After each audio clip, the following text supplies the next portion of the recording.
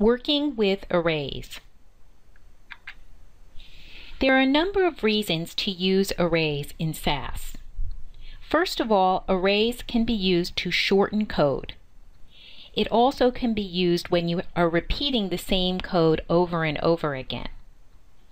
Arrays can be used with a do end loop, and arrays can also be used to help restructure data more efficiently. So what exactly is an array in SAS? An array is a group of variables, either all numeric or all character.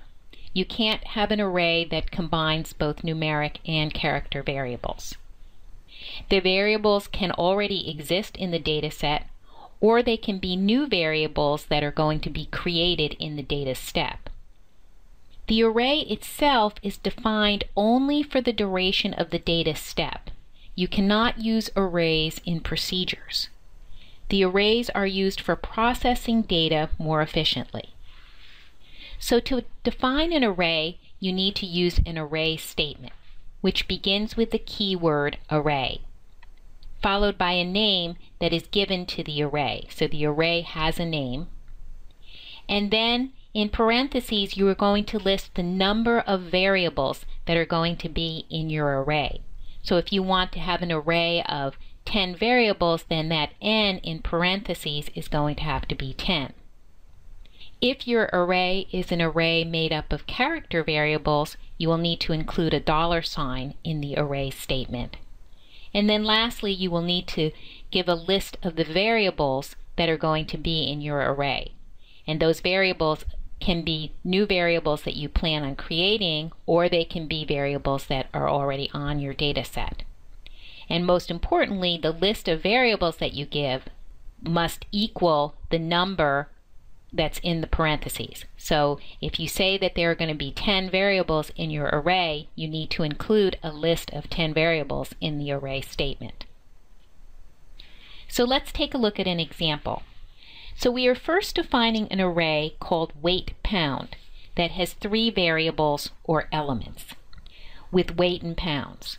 And the variables are called weight 1, weight 2, and weight 3. And these are variables that already exist on our data set. We are then going to define a similar array called weight kilogram, or WTKG, that will contain three new variables that have yet to be defined and these variables will contain the corresponding weight values in kilograms. Our do loop will loop three times, once for each of the weight variables. The word following the do creates a variable called index that takes on the values 1, 2, and 3, incrementing by 1 each time the loop executes. The loop ends after the third iteration. So index is actually going to be a variable that will be on your output data set. The first time through the loop, index will be equal to 1. The next statement will take the first variable in the array weight kilogram, which is actually the variable new weight 1, and assign it the value of the first variable in the array weight pound, which is variable weight 1, divided by 2.2. When the end statement is reached, the loop will start over for index equals 2. And this will continue three times. And so this do loop is doing exactly what's being done using the code at the bottom of the slide, where we have new weight 1 equals weight 1 divided by 2.2, new weight 2 equals weight 2 divided by 2.2, new weight 3 equals weight 3 divided by 2.2.